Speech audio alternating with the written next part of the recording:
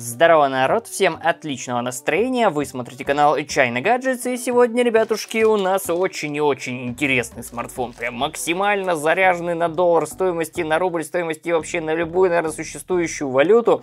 Э, потому что, э, ну, вы просили, ребят, э, делать не только новостные ролики о вот этих вот хитах, которые я вам рассказываю, там, супер-мега заряженная пушка, там, за 100 баксов, за 150, какие-то там космические характеристики. Сейчас мы все это дело будем проверять на практике и смотреть, на что же они действительно способны, потому что сегодня у нас один из таких аппаратов. Максимально вкусный, заряженный, жирный за свою цену. А, конечно же, сейчас прайс немножечко подскочил, потому что вот эти все акции, они обычно на старте продаж. Так вот, вот этот аппарат на старте продаж стоил в районе 110 баксов, может быть даже дешевле. А сейчас стоит чуточку побольше, но вроде как с 7 по 9 число, я сейчас посмотрел на Алике, он будет тоже стоить э, там в районе 114-112 баксов. Это очень-очень хороший прайс в районе районе 9 тысяч рублей с копейками. Так вот, что же мы получаем за эту цену? Ребят, 256 гигов накопителя, меньше десятки аппарат, да какой еще может похвастаться таким объемом? Это просто единичный случай. 8 гигабайт плюс 8 гигабайт оперативной памяти, итого в совокупности 16 оперативки, 48 у нас получается камера, 5200 мАч, часов, довольно крупный дисплей, а также тут у нас еще и довольно мощный 8-ядерный чип в рамках, опять же, ценника 9-10 тысяч рублей. То есть в совокупности, повторюсь, мы получаем очень и очень интересный аппарат на бумаге, что на практике сейчас будем распаковывать, смотреть и тестировать. А ко мне в Краснодарский край посылка со смартфоном, ну, как всегда, плюс-минус шла примерно около двух с половиной недель. Все ссылочки с минимальной ценой там, где я брал этот аппарат, я оставлю в описании под этим роликом. Надеюсь, окажется полезной. Ну а мы приступаем к вскрытию. Погнали, ребят! Так, конечно, я не скажу, что я шокирован прям упаковкой, но вроде как все доехало прям в целости и сохранности. Никаких дефектов я не вижу. Это Кубот P80, тот самый аппаратец, повторюсь, за 110 баксов, который нашумел в свое время на старте. Там его раскупали, судя по заказам, прям как горячие пирожки. Ну а все технические характеристики, ребятки, вам только что рассказал. А, тут еще IPS Full HD Plus дисплей. Напомню, смартфон за 110-120 баксов. В целом, опять же, коробочки, ну, никаких претензий нет, как, в принципе, никакого вау-эффекта. Такая вот простенькая, стильная, минималистично лаконичная название модели и технические характеристики. Продолжаем ее потрошить. И вуаля, это пока что сюда. Ну и вот, посмотрите, красавец смартфон. Я уже вижу, что он еще и в защитном чехле идет. Так, а ну-ка, выходи. Он у нас в лавандовом, максимально таком вот э, утонченном исполнении, но он еще есть в нескольких цветах. Разумеется, по ссылочке там со всем этим делом сможете ознакомиться. Буклетик, инструкция. Э, что у нас по комплекту поставки? Я думаю, она плюс-минус стандартная. Есть... О, нет, не стандартная, ребят, за 110 баксов. Тут еще наушники лежат. Ну, я не думаю, что там какие-то крутые наушники. Итак, USB-C кабель, э, блок зарядного устройства. Что у нас тут по зарядке? Ну, 18 ватт. Есть еще, напомню, то, чтобы есть похуже 10 ватт. Это 18. Это не какая-то там супер-мега быстрая зарядка, но в принципе 5200 мАч, плюс эти вот 18 Вт, заряжаться он будет около полутора часов, там э, плюс, ну, я не могу придраться опять же за этот прайс, это было бы уже каким-то кощунством. Ладно, опять же, вот эти вот самые наушники, но это не просто наушники, это даже полноценная гарнитура, я вижу с тремя кнопками, офигеть, а тут еще такой вот э, странная штука. А, это у нас сюда заправляются э, вот эти вот сами э, провода, и можно их будет смыкать. Ну, в принципе, я, наверное, даже не буду распаковывать. В любом случае, вот такая мелочь есть, приятная, быть может, кому-то вдруг даже и пригодится. А, что еще у нас тут интересного? О, набор елки-моталки. Руководство пользователя в количестве двух штук – скрепка для извлечения симулатка. И я смотрю, тут еще один бонус у нас идет. Это, повторюсь, стандартная вроде комплектация. Я уже, честно говоря, не помню. Опять же, по акции э, там за минимальный прайс она бралась.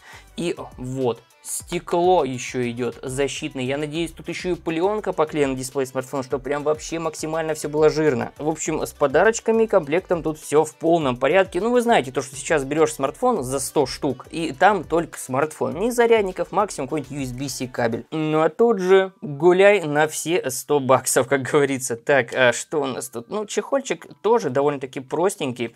Конечно, он впился прямо в сам смартфон. А, тут у нас такие ребра есть, кстати, защитные. Он прям хватается вокруг дисплея, по всей видимости, небольшая защита, э, прорезь для, э, получается, сканера отпечатков пальцев. Да, у нас тут есть сканер отпечатков пальцев еще в смартфоне. Тут у нас кнопка включения, качелька регулировки громкости. Все, в принципе, защищено. И довольно толстые бортики для защиты глазка основной камеры. Итак, э, вот он, красавец, наш девайс. Ох ты, практически под металл, хотел я сказать, но все-таки это у нас полностью пластик. Ждать каких-то премиальных материалов корпуса, это вообще был бы какой-то нонсенс. Но вроде как выглядит вполне себе симпатично. Так, давайте-ка уберем все ненужные транспортировочные пленки, ознакомимся с экстерьером этого красавца более подробно. На лицевой стороне Kubot P80 находится, ну, опять же, в рамках бюджета. У нас э, каплевидный глазок фронтальной камеры, далее сверху идет разговорный динамик, датчики, ну и сам дисплей с диагональю 6,58 дюйма. Справа мы найдем кнопку включения и, кстати, отдельный сканер отпечатков пальцев. На левой же грани у нас есть качелька регулировки громкости и слот. Слот, кстати, комбинированный. Сюда можно поставить либо две нано-сим-карты, либо одну нано-сим-карту и карточку памяти. Но, опять же, я не думаю, что стоит приносить в жертву карту памяти. Так, у нас тут 256 гигов. Сверху, кстати, только два вот таких вот датчика. Ну, скорее всего, это либо датчики освещенности, либо приближения. Быть может, еще какая-то интересная тема. На нижней же стороне смартфона есть два симметричных отверстия, в одном из которых находится микрофон, в другом динамик громкоговорителя. Ну и по центру USB-C разъем. Ну и на тыльной стороне этого ни на кого не похожего девайса находится максимально индивидуальный глазок основной камеры. Тут у нас располагаются три датчика. Далее идет вспышка, ну и собственно все. Ах да, за пределами глазка, конечно же, логотип компании Kubot. Ну и тут же подмечу то, что задняя крышка у нас глянцевая, значит она будет собирать отпечатки пальцев. Особо сильно это будет заметно на каких-то темных решениях. Тут же в лавандовом, ну, особо в глаза не бросается. А знаете, ребят, ну в целом-то неплохо, ведь собран смартфончик довольно-таки адекватно. Я не требую от него каких-то заоблачных, повторюсь, материалов корпуса, но тут у нас вроде как э, то ли симуляция, то ли стекло, не пойму, потому... Нет, это скорее всего какой-то хитрый отполированный пластик, потому что, ну, визуально, плюс он еще немножко холодит руку, подозрительная вещь на самом деле. Но вот э, в чем я на 100% уверен, то что рама у нас полностью пластиковая, хотя если посмотреть на многие другие бренды по 300, по 400, по 500 баксов смартфоны полностью пластиковые делают, и ничего, им все сходит с рук, а тут аппаратец, повторюсь, за такие деньги докапываться не вижу никакого смысла, тем более тут нигде ни клеюка, никаких там щелей, выпадающих батарей, еще чего-то подобного не вижу. А, плюс ко всему, несмотря на то, что у него немножко, я бы сказал, уже заезженный дизайн, вот этот вот, ну, как говорится, кому-то он может понравиться, поэтому, опять же, все это дело вкуса, поэтому пишите в комментариях, как вам подобные решения с оглядкой на некоторых других э, производителей, ну, он, не скажу, что прям сильно похож, у него свои собственные нотки, своя компоновочка тоже по камерам и так далее, но в целом выглядит вполне себе адекватно, симпатично, а вот эти вот новомодные скошенные грани присутствуют. А, самое главное, повторюсь, за этот прайс, то, что он, в принципе, адекватно выглядит, неплохо собран, а, а, ничего такого зазорного в нем абсолютно нет, а, аппарат неплохо лежит в руке, плюс ко всему еще вот это вот заигрывание с каким-то премиум сегментом, типа под стекло все сделано, и честно, я ожидал за эти деньги что-то на уровне погремушки в плане э, сборки, потому что, ну, обычно, если производитель вложился в железо, а тут явно производитель вложился в железо, за этот прайс я ничего более мощного найти, опять же, ну, можно, вот чуть-чуть подороже, можно докинуть и взять, опять же, у них будет 7 числа продаваться Kubot X70, там вроде как разница будет на 20-30 баксов, чуть, может чуть больше, но там и Helio G99, и 24256, и камера на 100 мегапикселей новая а, используется, и множество, там 120 Гц дисплей, заряжен за 150 баксов, просто какие-то, в общем, ребятки, тоже оставлю ссылочки в описании, возможно, кому-то окажется а, полезна и такая машинка, и такая, и такая, в общем, на все поскидываю, там уже посмотрите и разберетесь. Ну и повторюсь, пишите в комментариях, как вам внешка нашего сегодняшнего героя. Как по мне, в Лавандов, наоборот, максимально выигрышный вариант. Так сказать, на женскую аудиторию прям очень-очень хорошо попали. Итак, ладно, давайте-ка зап... а, и жму, жму на сканер. Ну, в принципе, опять же, когда мы будем, ну, забьем отпечаток пальца, то будет, наверное, удобно. Сразу нажал, он все равно будет включаться, это не проблема. Но вот э, основное включение первое, конечно же, на эту самую кнопочку. Сейчас мы проходим все быстрые настройки и продолжаем. И вуаля, магия кино в действии. Наш девайс, собственно, как я уже, я не помню, говорил или нет, но у нас тут максимально свежий, актуальный 13-й Android. Да, вот такие вот пироги. В принципе, повторюсь, уже неоднократно говорил, доступное устройство. И вроде как еще и актуальная версия зеленого робота. Хотя, в принципе, опять же, как я говорил во многих других роликах, между 12 и 13 версией Android больших каких-то кардинальных отличий лично я не вижу. Что-то где-то допилили, переделали, переставили улучшили, отшлифовали, оптимизировали и так далее. Ну, в принципе, так и должно быть, как говорится. Так, информация о нашем сегодняшнем герое. Так, э, что еще хотел показать вам. Сейчас э, прилетела какая-то обнова. А, вот он ее качает. 37 мегабайт она весит. Правда, качается уже пару минут. Э, честно, наверное, с какого-то там китайского сервера. Но в любом случае, поддержка есть, обновы приходят обновимся, протестируем уже на максимально актуальной версии прошивки. Что-то ребята исправили, что-то добавили, что-то, быть может, даже переделали. Ну а так, повторюсь, чего-то прям мега запредельного, того, что мы не видели, тут опять же нет. Сток от Гугла, 13 дроид со всеми Google сервисами.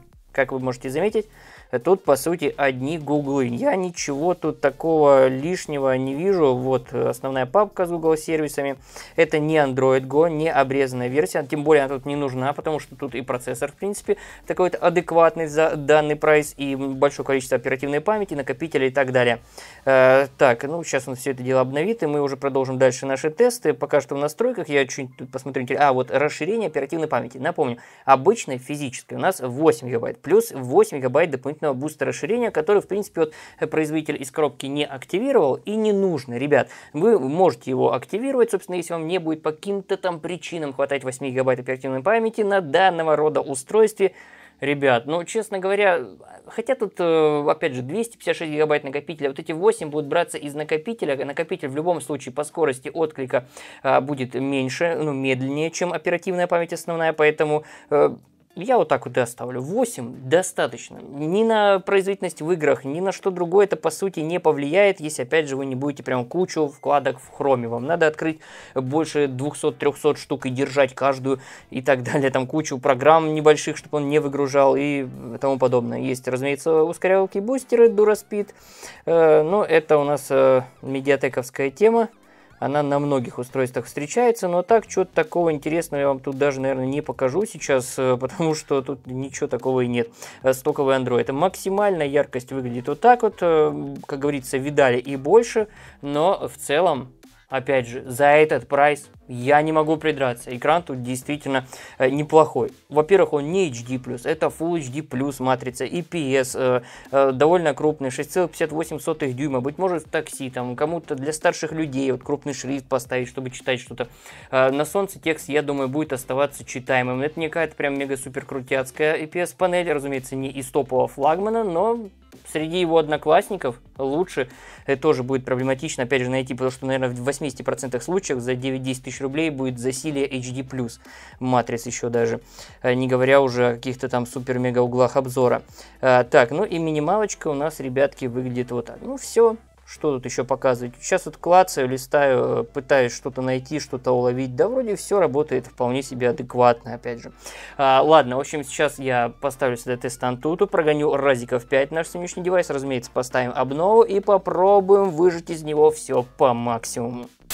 Ну и вон тут у девятой версии наш сегодняшний потанцевальный топчик за свои деньги набирает вполне себе, ну, неплохие, я бы сказал, в рамках его ценника 237 803 очка. В принципе, результат э, это у нас пятого прогона, максималочка, а так э, результаты скакали от 220 было по минимуму и до вот этих самых 237, что опять же, как я уже говорил неоднократно, очень-очень близко к результатам Helio G85. Но тут же у нас ставится совершенно другой камушек, это MT8788 8, там какие-то буквы, много на самом деле на рынке сейчас всевозможных его модификаций. Это, насколько я знаю, чип для планшетов. То есть он изначально э, предназначался для планшетов, а потом, по всей видимости, что-то поменялось, и теперь э, хлынул на рынок э, доступных смартфонов, где он, кстати, неплохо таки прижился и позволил этим самым смартфонам выйти на немножко другой уровень. Опять же, я говорю сейчас про максимально дешевые решения.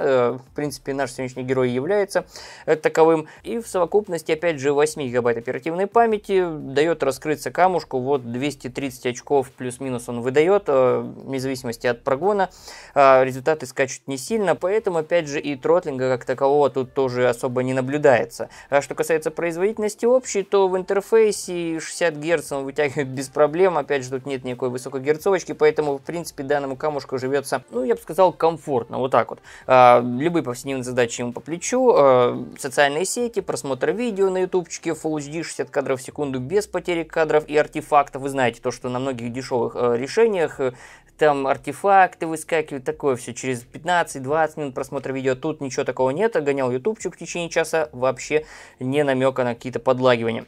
А, поэтому я сказал то, что вот этот чип, хоть он и для планшетов изначально проектировался, в смартфонах зашел просто на ура. А что касается игр, то опять же стендов, практически везде 60 кадров в секунду. Это очень-очень неплохо для доступного решения до 10 тысяч рублей на максимальных настройках графики. Кстати, что касается PUBG State, то опять же низкие настройки графики и максимально доступный FPS. 90, конечно же, не поставить. Ставим 60 и вот около этих 60 он и должен нас скакать. В принципе, тоже немножечко покатал, поиграл. Могу сказать то, что все играбельно. Опять же, не гонимся за какими-то максимальными настройками графики. Главное, что играбельно и в течение продолжительного времени. То есть каких-то жутких жутких просадок, фризов и так далее я опять же не наблюдал. Поэтому, в принципе, с учетом его ценника можно отнести его к э, девайсам игровым даже. Почему я так говорю? Потому что, ребят, не у всех в кармане 30, 50, 60 тысяч рублей на игровой смартфон. Э, человек ищет максимальную выжимку по железу в свой бюджет. Вот есть у человека там 8, 9, максимум 10 тысяч рублей. В принципе, можно рассмотреть, опять же, э, можно рассмотреть какие-то другие. Я никому не навязываю этот смартфон абсолютно, но объективно, если посмотреть по его цене и его характеристикам, все вполне себе э, адекватно. Итак, э, если хотите, давайте-ка дружно наберем под этим роликом полторы тысячи больших пальцев вверх и отправим Кубот P80 на большой тест игр с FPS, нагревом и тротлингом.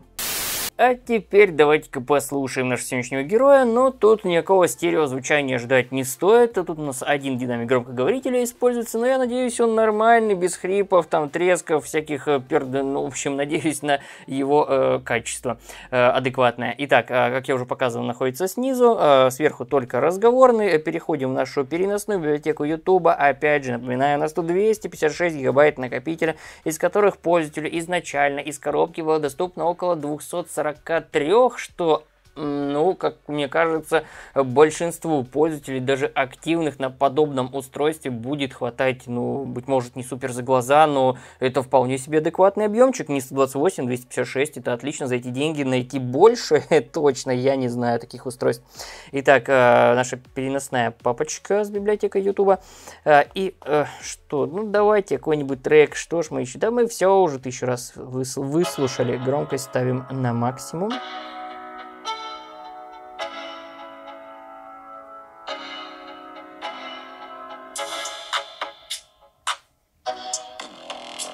О, попытка в басы.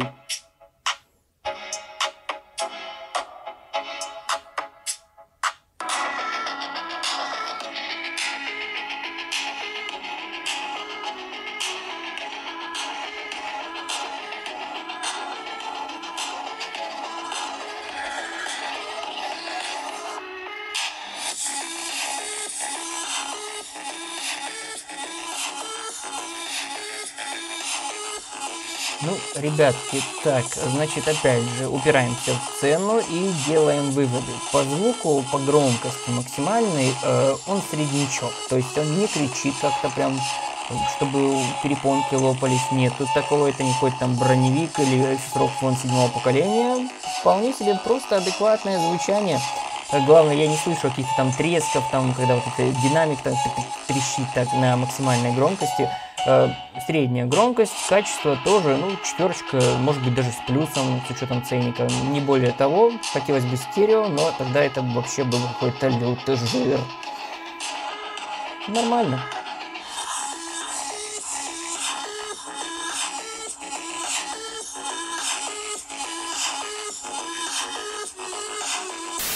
В Кубот P80 устанавливается такой вот наборчик камер. Фронталочка у нас в каплевидном вырезе, по центру дисплея, сверху она на 24 мегапикселя. Вроде как используется сенсор от компании Samsung, что в принципе за этот прайс очень и очень интересно. А, так, основная может похвастаться 48 мегапиксельным датчиком, тоже вроде самсунговским. Опять же, везде разная информация, а, но он точно на 48 мегапикселей. Следом идет у нас макрообъектив на 2 мегапикселя точно есть. И еще один секретный датчик, потому что на самом деле я про него толковой информации не нашел, он вроде как на 0,3 мегапикселя, э, то ли портретник, то ли еще дальномер, там что-то, короче, непонятно. В общем, вроде как две камеры тут у нас точно присутствуют, остальные, ну, в принципе, опять же, прайс чего требовать. Главное, чтобы основная фотографировала хорошо. И селфи-пушечка тоже. Итак, я вижу, у нас тут есть зум, зум максимальный цифровой, четырехкратный. Возвращаемся обратно. Бьюти, ночное, э, ну, это у нас получается ночной режим, макро. Так, давайте-ка сейчас э, примерчик небольшой вам покажу. Макрокамера, ребят, действительно тут присутствует. Вот на мелком тексте принципе, фокусируется. Но она у нас на 2 мегапикселя. Ну, опять же, даже на топах от Xiaomi там тоже 2 мегапикселя, это макрокамера. А, опять же, ночи, бьют, картинка, видео. Меня интересует максимальное разрешение видеосъемки, и оно у нас, о, фух, Full HD. Я думал, тут будет сейчас какая-нибудь засада в виде HD. Нет, Full HD разрешение у нас на видеосъемке. А, еще по картинке, что у нас есть система стабилизации, но, возможно, она работает только фото, и вот максимальное разрешение, повторюсь, 48 мегапикселей. А, что еще интересного? Ультра HD, опять же, это чтобы под рукой у вас сразу был, а, ну, когда вы хотите максимум выжать из камеры по количеству мегапикселей, тут 48 будет. И портретный режим, быть может, там все-таки есть какой-то дальномер. Ладно, ребятушки, в общем, выходим на улицу, берем Кубот P80 за пазуху и посмотрим, что же нам действительно покажет по части фото и видеосъемки.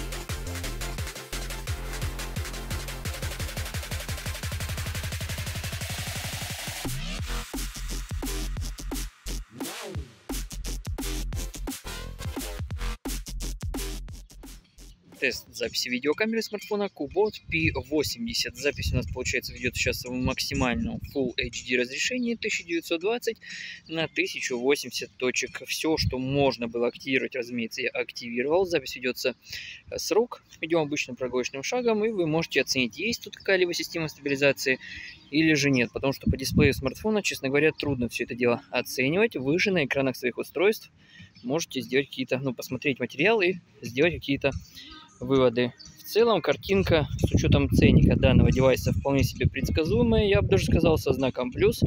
Качество адекватное, опять же. Так, и давайте-ка еще покатаем систему автоматической фокусировки на макро. Посмотрим, как девайс справится с этой задачей. Макро. Вводим на горизонт. Давайте-ка еще раз макро. Еще раз уходим на горизонт. Еще раз всем привет, дорогие друзья. Сейчас запись уже на переднюю камеру нашего сегодняшнего героя. И тут, э, да, к сожалению, Full HD уже не поснимать, но опять же это будет HD разрешение 720p. Э, честно говоря, по-прежнему непонятно, что у нас система стабилизации. Смартфончик держу на вытянутой руке. Можете попутно оценить угол захвата э, изображения. Качество, опять же, для чего? Для видеосвязи, Skype, WhatsApp и тому подобное. Не более того. Ну, быть может, какие-то еще моменты там зарисовочки сделать и тому подобное. И вот так у нас снимает передняя передняя камера Kubot P80. Ну что ж, мои дорогие друзья, на этой ноте мы, как всегда, будем закругляться. Если вам понравилось данное видео, не забудьте поставить свой большой палец вверх, подписываемся на канал, прожимаем колокольчик, и чтобы не пропускать новые ролики на нашем канале. Также посещаем все наши социальные сети, наш YouTube, Рутуб, Яндекс.Дзен, группу ВКонтакте, и, конечно же, сообщество в Телеграм, где посты с самыми крутыми скидками, которые только нахожу на просторах наших интернет-магазинов, так, разумеется, и на Алиэкспресс. Крайне полезная, ребят, штука. Если хотите действительно сэкономить, ссылочка на нашу телегу будет в описании под этим роликом. Всем еще раз огромнейшее, ребят, спасибо за внимание и поддержку в виде лайков, подписок и одобряющих комментариев. Всем удачных покупок, действительно топовых годных гаджетов за свой прайс и до новых встреч!